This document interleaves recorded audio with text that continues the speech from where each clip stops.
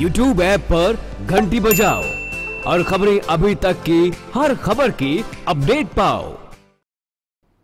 हरियाणा कांग्रेस प्रदेश अध्यक्ष अशोक तंवर ने बड़ा बयान देते हुए खुलासा किया है। तंवर ने कहा है कि कांग्रेस के संपर्क में कई पार्टियों के एमएलए, सांसद और मंत्री हैं जो कांग्रेस में शामिल होने को तैयार है।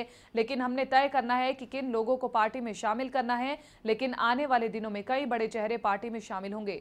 तंवर के इस बयान के बाद हरियाणा की राजनीति गर्मा गई है। हर पार्टी में हलचल है कि किस पार्टी का, कौन सा नेता कांग्रेस में शामिल होना चाहता है। तंवर के इस बयान के बाद हरियाणा बीजेपी सरकार के मंत्री कृष्ण बेदी ने पलटवार किया है। बेदी ने कहा कि तंवर के संपर्क में तो हुड्डा और किरण चौधरी ही नहीं है तो और कौन होगा? बेदी ने इतना भी कहा कि तंवर खुद ही कांग्रेस के संपर्क में नहीं है। कांग्रेस का सुषमा सुषमा समय है अच्छा समय है।